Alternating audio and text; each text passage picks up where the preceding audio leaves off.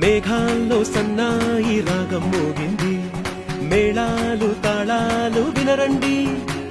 సిరికి శ్రీహరికి కళ్యాణం కానుంది. శ్రీరస్సు శుభమస్తు అనరండి. అచ్చతలు గంటో పెళ్ళికి అర్థం చెప్పారంటూ. మెచ్చదగు ముచ్చట ఇదయని సాక్ష్యం చెబుతామంటూ జనులంతా